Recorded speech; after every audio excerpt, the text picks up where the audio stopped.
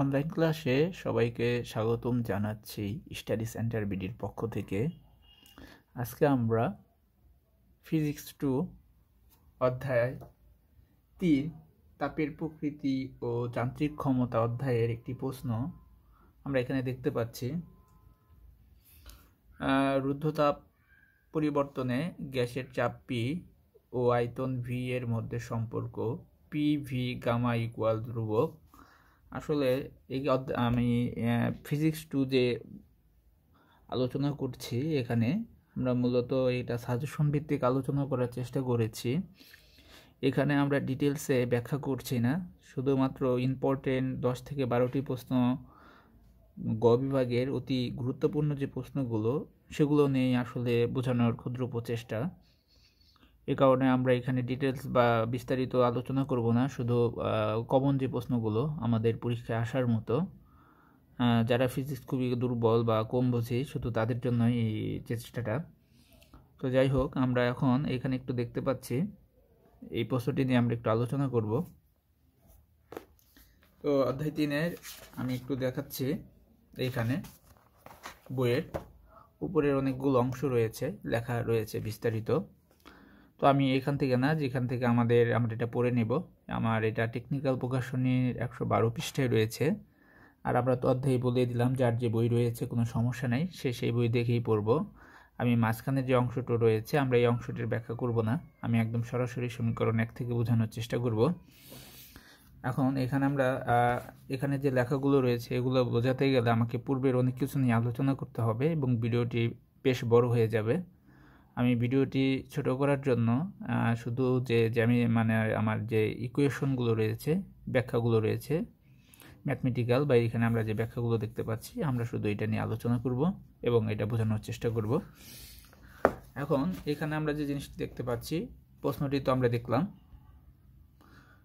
রুদ্ধতাপ পরিবর্তনে গ্যাসের চাপ ও আয়তন এর মধ্যে সম্পর্ক পিভি গামা ইকুয়াল ধ্রুবক এটি নিঃসন্দেহে বলা যাবে যে একশো পার্সেন্ট কমন পরীক্ষায় প্রশ্নটি আসবে। তো এখানে যে প্রথম আমরা সমীকরণটি দেখতে পাচ্ছি, এটা আমি প্রথমে বলব মুখস্থ করে নেওয়ার জন্য। DQ equal CV DT plus PDV equal আমরা ডট ডট ডট সমীকরণ এক। আমরা প্রথমে যে সমীকরণটি দেখতে পাচ্ছি, আমরা শুরুতেই এই সমীকরণটি মুখস্থ করে নেব।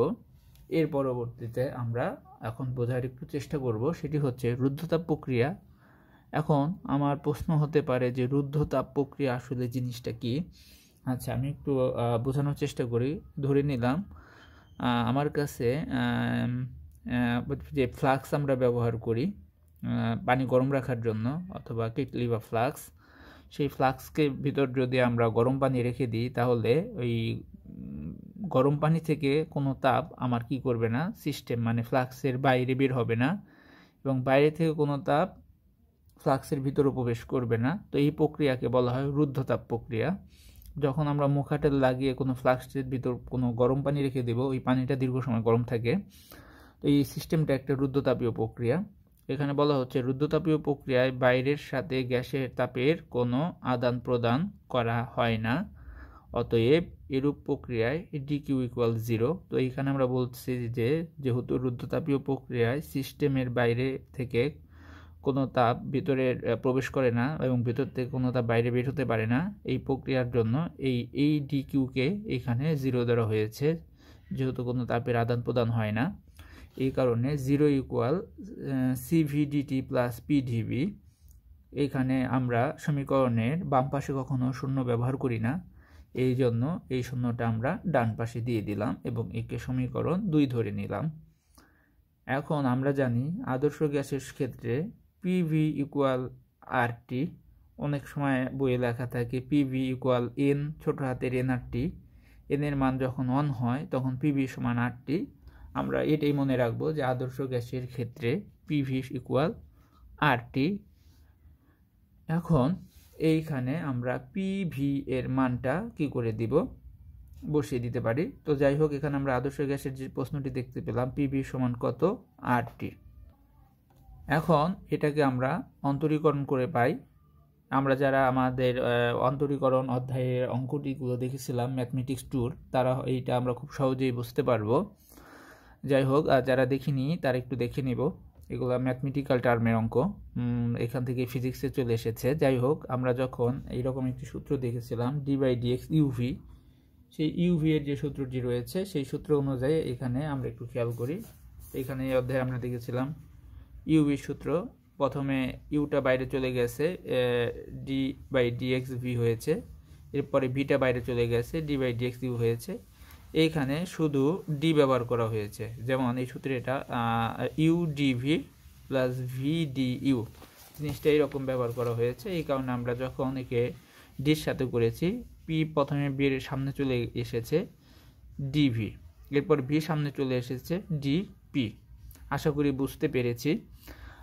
আবারও বলে দিই পি সামনে চলে এসেছে, আমরা ডি বাই ডিএক্স এরকম না, শুধু ডি ব্যবহার করেছি ডিভি যখন ভি সামনে চলে এসেছে, তখন ডিপি।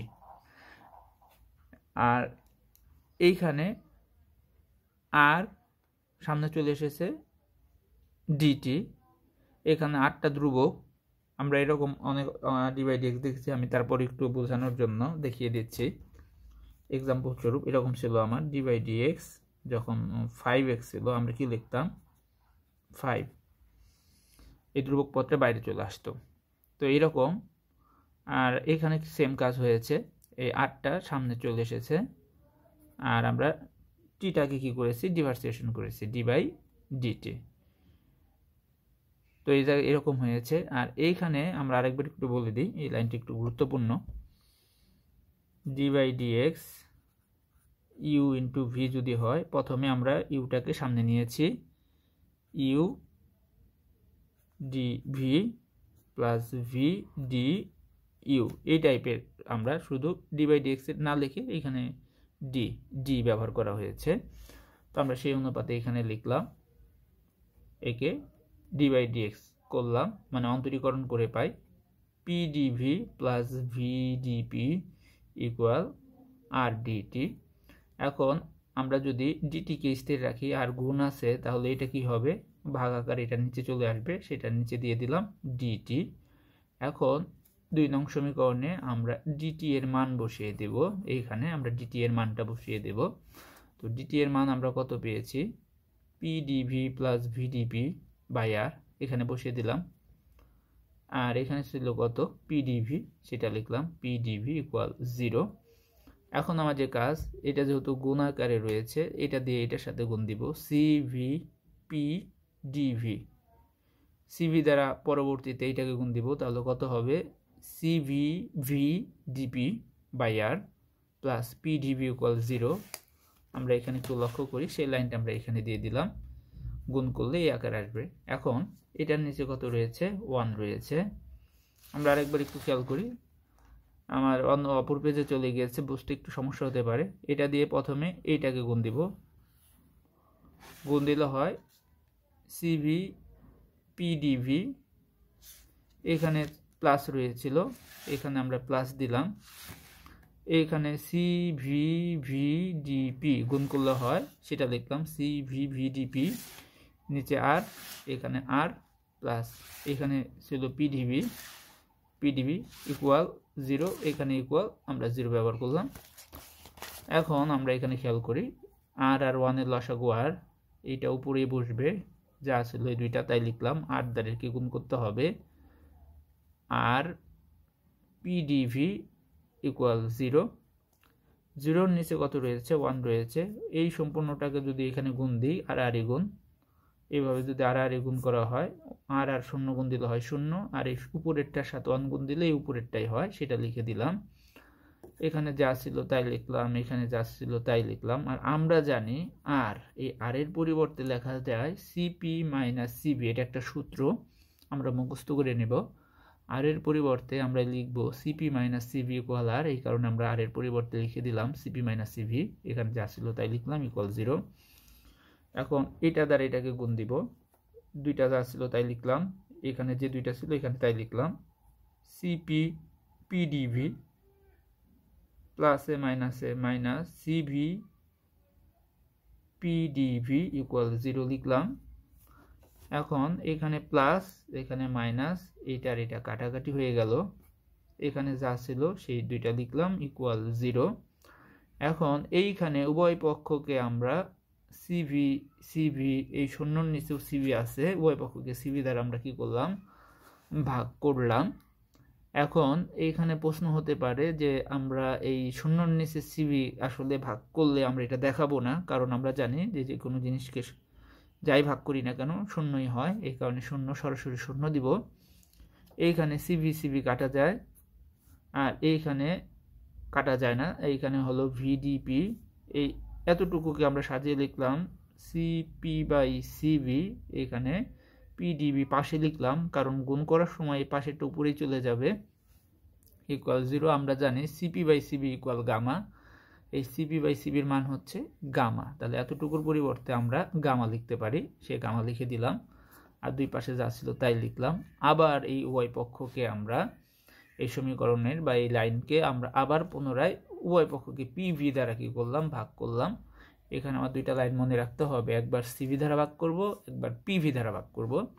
যদি আমরা পিভি দ্বারা ভাগ করি, এখানে মনে রাখতে হবে যে এইখানে আমরা ইচ্ছা করলে পি পি ভি ভি কাটতে পারি। এটা কাটলে আমার ভুল হয়ে যাবে। আমার সূত্র পড়বে না। আমি সূত্র ফেলার জন্য শুধু একটা কাটবো ভির সাথে ভি আর এইখানে পির সাথে পি মানে হচ্ছে আমি এই ভির সাথে ভি মিলাবো এবং পির সাথে পি মিল করে রাখব।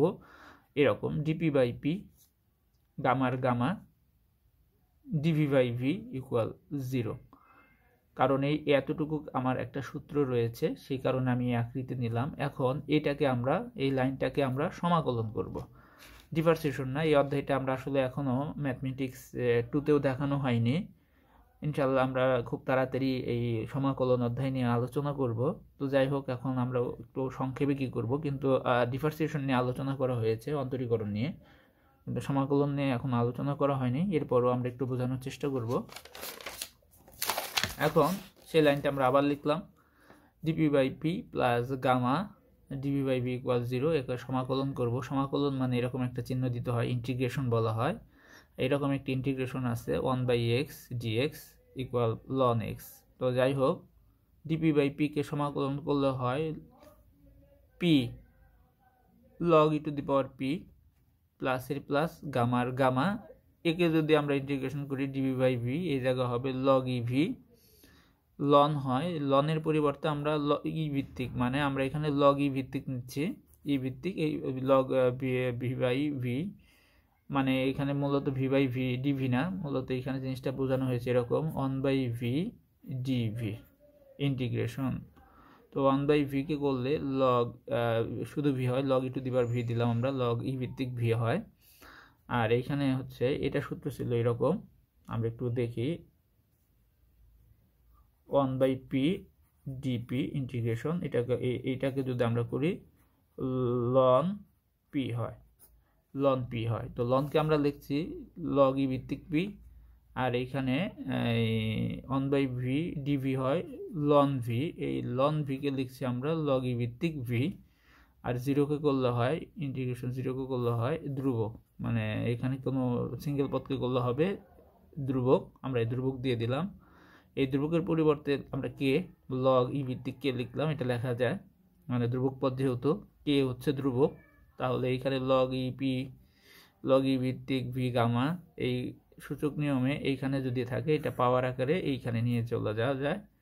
এই সামনেরটাকে পাওয়ার হিসেবে উপরে নিয়ে যাওয়া যায়। তো আমরা সেখানে কি করলাম? এই গামাটাকে উপরে নিয়ে গেলাম। Log e V gamma equal এই ধ্রুবককে লিখলাম লগ ই ভিত্তিককে আমরা লগের যে অঙ্কটি ছিল ক্লাস নাইনে আমরা পড়েছিলাম, চার দশমিক দুয়ে যে লগের যদি ভিত্তি সেম থাকে এবং এখানে যদি যোগ হয় তাহলে দুইটা লগ একটা লগ হয়ে কমন নিলে এই যোগটা গুণ হয়ে যায়। এই কারণে আমরা গুণ চিহ্ন ব্যবহার করলাম। Log P V gamma P into V gamma equal log e K এখন উভয় পক্ষ থেকে আমরা লগ এবং লগ সমান চিহ্নের দুই পাশ থেকে দুটাকে বাদ দিয়ে দিলাম। তাহলে হয় কত? P V gamma equal K এর পরিবর্তে আবার পুনরায় আমরা একটা দুবুক লিখে দিলাম।